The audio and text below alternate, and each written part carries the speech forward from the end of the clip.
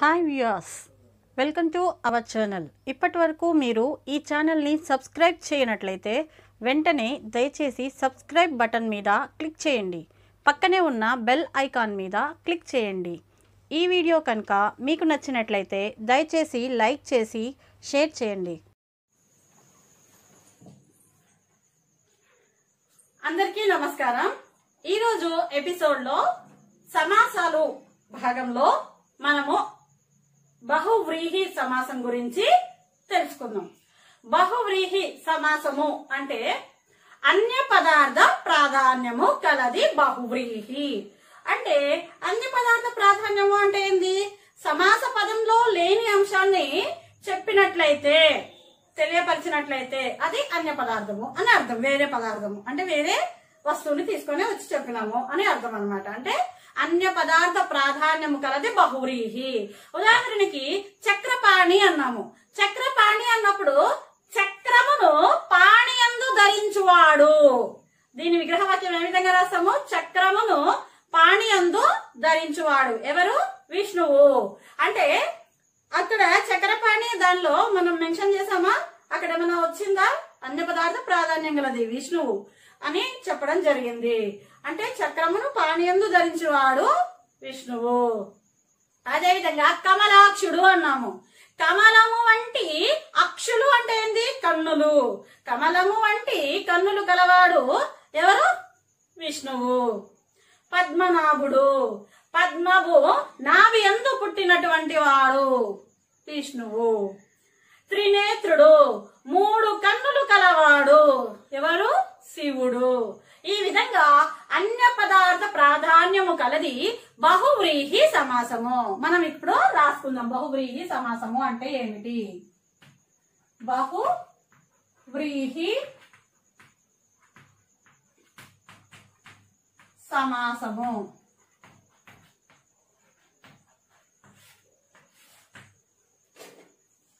బహువ్రీహి సమాసము అంటే ఏంటి? అన్య పదార్థ ప్రాధాన్యము కలది. ప్రాధాన్యము కలది బహువ్రీహి అయితే ఉదాహరణలో చూద్దాం.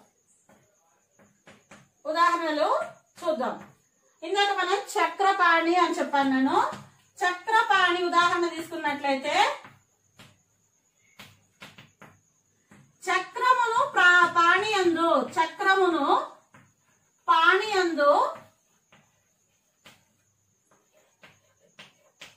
కలవాడు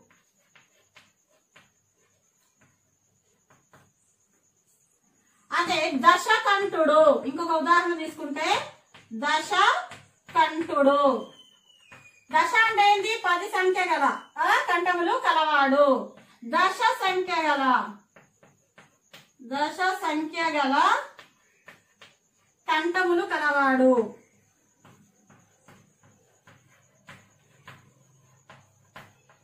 ఎవరు దశ సంఖ్య గల కంఠములు కలవాడు? రావణాసురుడు. ఇక్కడ చూడండి సంఖ్య వచ్చింది కదా ఇది ద్విగు సమాసం కదా అని అనుకోవచ్చు మీరు. కానీ అన్య పదార్థ ప్రాధాన్యం కలిగినది కాబట్టి ఇది బహువ్రీహి సమాసము. దశ సంఖ్య గల పది సంఖ్య గల కంఠములను కల- కలిగినటువంటి వాడు ఎవరు? రావణాసురుడు. అదే విధంగా పీతాంబరుడు. పీతాంబరుడు. పీతమైన పీతమైన అంబరము కలవాడు. అంబరము కలవాడు. నెక్స్ట్ మరిన్ని ఎగ్జాంపుల్స్ చూద్దాము. ఇంకొన్ని ఎగ్జాంపుల్స్ చూద్దాం. పీతమైన అంబరము కలవాడు అని మనం రాసుకోవడం జరిగింది. అదే విధంగా చంచలాక్షి. చంచలాక్షి. చంచ అక్షి అంటే ఏం చెప్పాను నేను? కన్ను అని చెప్పాను. అక్షి అంటే ఏంటి కన్ను. చంచలాక్షి ఎలా రాసుకుంటాం? చంచలమైన అక్షులు కలది. చంచలమైన అక్షులు అంటే కళ్ళు. అక్షులు కలది. ఎవరు?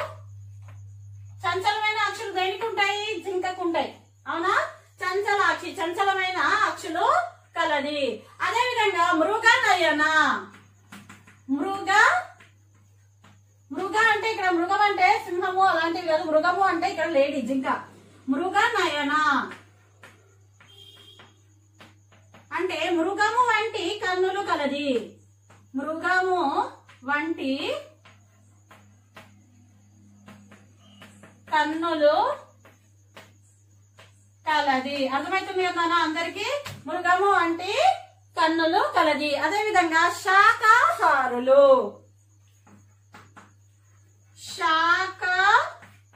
శాకాహారులు శాకములను హా- శాకముల శాకములే ఆహారముగా కలవారు. శాకములే ఆహారముగా భుజించువారు. భుజించు వారు శాకాహారులు అని చెబుతారు. అదేవిధంగా ఘరళ గరళ కంఠుడు అదేవిధంగా ఏం చెప్తున్నాం మనం? గరళ కంఠుడు ఘరళమును కంఠమునందు కలవాడు. గరళము అంటే ఏంది ఇక్కడ? విషము. అంటే విషాన్ని కంఠమునందు. ఎవరు? కంఠము అంటే ఏంది గొంతులో? పెట్టుకున్నది ఎవరు? పరమేశ్వరుడు శివుడు. ఘరళ కంఠుడు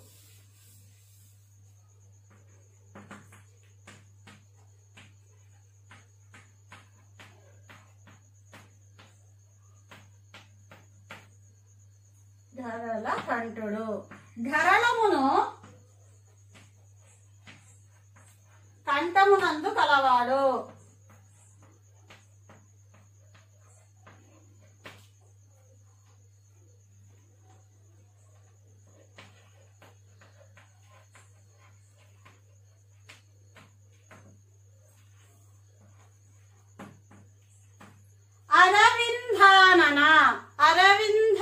అలాంటి ఆననము అంటే ముఖము. అంటే అలాంటి చక్కని ముఖము కలిగినది అని అర్థం అన్నమాట అరవిందానన. అరవిందానన. అరవిందము వంటి